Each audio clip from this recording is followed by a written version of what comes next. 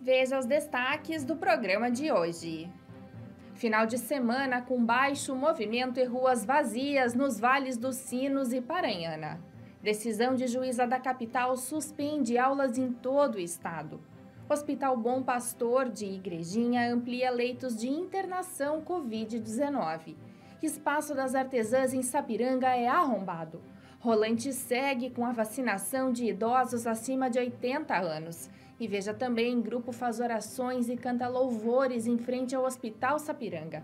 Hoje é segunda-feira, dia 1 de março de 2021 e o Repercussão Notícias já está no ar.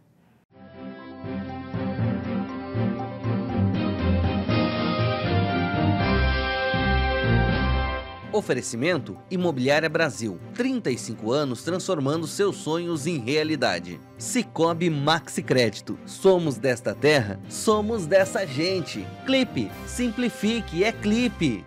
Olá, final de semana com baixo movimento e ruas vazias nos vales dos Sinos e Paranhana. No primeiro final de semana, com as novas regras do modelo de distanciamento controlado definido pelo governo do estado, o movimento nas ruas de Sapiranga e Campo Bom foi bem baixo. Quem circulou pelas cidades manteve o distanciamento e procurou seguir as regras e recomendações. Locais públicos estão com restrições, alguns deles com barreiras físicas de isolamento. Estão sendo feitas também fiscalizações para evitar que as regras sejam descumpridas. No Vale do Paranhana, apesar das restrições e do movimento mais baixo em relação a outros finais de semana, algumas pessoas se arriscaram e saíram às ruas. No sábado, a Prefeitura de Parobé promoveu uma barreira sanitária próximo ao viaduto do bairro Alexandria. A barreira visa maior segurança em saúde tanto para os moradores quanto para os visitantes e também evitar a disseminação do coronavírus. É importante ressaltar que o momento é bastante crítico e é fundamental seguir todos os protocolos de saúde necessários. Decisão de juíza da capital suspende aulas em todo o estado.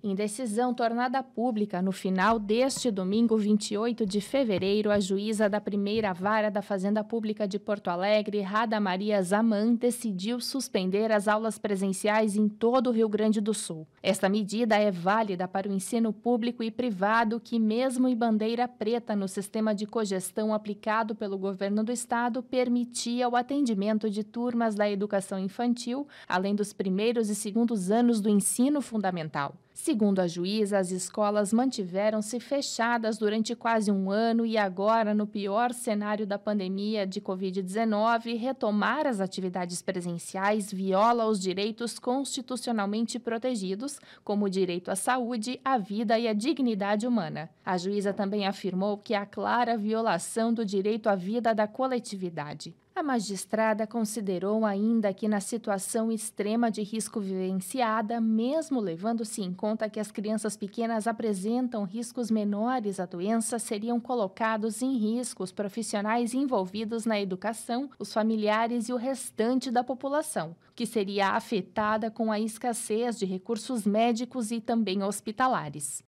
Hospital Bom Pastor de Igrejinha amplia leitos de internação Covid-19.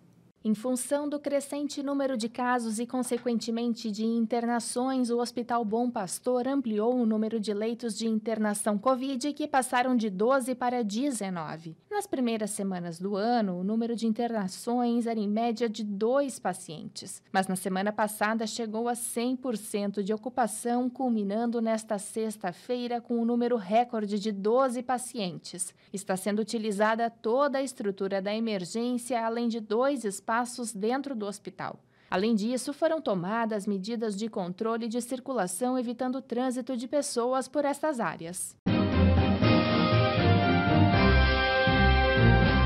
Oferecimento Giganet, inovação e tecnologia que você procura. Casa das Capas, a loja que protege o seu celular. Espaço das Artesãs em Sapiranga sofre arrombamento na madrugada de sábado para domingo. Entre a madrugada de sábado e domingo, o espaço do artesão na Praça da Bandeira, em Sapiranga, amanheceu arrombado. E, para surpresa do grupo de mulheres que integra a associação, dezenas de peças de crochê, tricô, guirlandas, souvenirs, panos bordados à mão e alguns enfeites de paredes foram furtados do local. Muitas das artesãs possuem no artesanato uma válvula de escape, pois ajuda na saúde mental e eleva a autoestima e ainda gera renda para essas mulheres. A presidente da Associação dos Artesãos de Sapiranga, Maria Helena Coronetti, explicou que foram levados 80 itens de diferentes tamanhos, estilos e preços, mas que conjuntamente totalizam um pouco mais de R$ 2.400. O espaço foi interditado em razão das medidas de isolamento que passaram a valer neste sábado. Rolante segue com a vacinação de idosos acima dos 80 anos.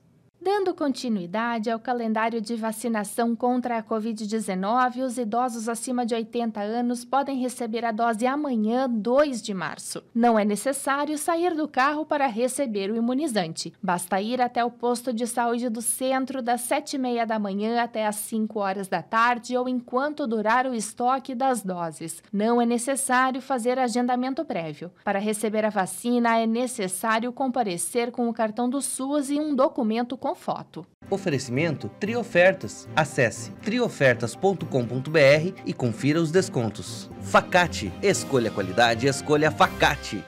Grupo faz orações e canta louvores em frente ao Hospital Sapiranga. Um grupo de cristãos do Ministério Tempo de Resgate esteve na tarde deste domingo em frente ao Hospital Sapiranga fazendo orações e cantando louvores. O objetivo foi de levar um pouco de oração através de canções aos enfermos que se encontram hospitalizados na casa de saúde e também aos profissionais do local que estão na luta contra o coronavírus. O grupo de cristãos utilizou máscara e cumpriu todos os protocolos de distanciamento no local. Paulo da Silva, da Companhia da Música, perde a luta para a Covid-19 em Sapiranga.